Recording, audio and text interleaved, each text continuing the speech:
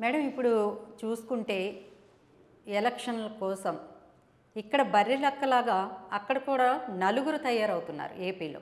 వాళ్ళ కోడికత్తి శ్రీనున్నారు దస్తగిరి. ఇకపోతే జగన్కి సోదరైన షర్మిల ఇక మా వైఎస్ వివేకానందరెడ్డి భార్య కానీ ఆయన కుమార్తె కానీ నిల్చోబోతున్నారు. దీనిపై మీరేమంటారు? చాలా సంతోషిస్తామమ్మా అది జగన్కి వ్యతిరేకంగా నిలబడుతున్నారని కాదు సంతోషించేది. ప్రజాస్వామ్యం ఎంత పరిమళిస్తుందా అని. ప్రజాస్వామ్యంలో అన్యాయం ఎవరికైతే జరుగుతుందో ఎవరికైతే న్యాయం అందలేదో న్యాయస్థానాన్ని కూడా మభ్యపెట్టాలని ఎవరు ప్రయత్నిస్తున్నారో. చార్జ్ షీట్లు వేయకుండా ఏది జరగకుండా ఇటు అవినాష్ రెడ్డిని సిబిఐ అరెస్ట్ చేయాలనుకుంటున్నప్పుడు హాస్పిటల్ కార్డ్ చేసిన హంగామాను మర్చిపోతామా.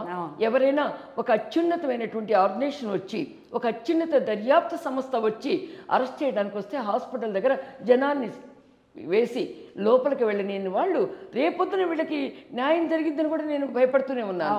ఎందువల్లంటే వీళ్ళ పోలింగ్ బూతులకు వెళ్ళనిస్తారా?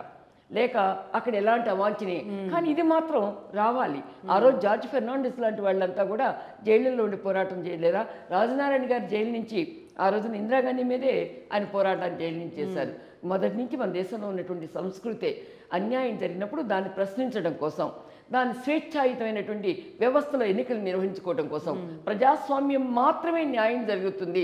ప్రజాస్వామ్యం ప్రజల కోసం ప్రజల చేత ప్రజ ఉన్నటువంటి ఈ వ్యవస్థలో అత్యున్నతమైనటువంటి ప్రజాస్వామ్యంగా విరాజిల్లుతున్నటువంటి ఈ భారతదేశంలో ఇలాంటి దగాపడ్డ వాళ్ళంతా కూడా దగాపడిన అన్నలు కావచ్చు తమ్ముళ్ళు కావచ్చు చెల్లెళ్ళు కావచ్చు వీళ్ళందరూ నిలబడేటువంటి హక్కు భారత రాజ్యాంగం డాక్టర్ బిఆర్ అంబేద్కర్ గారు ఇచ్చారు.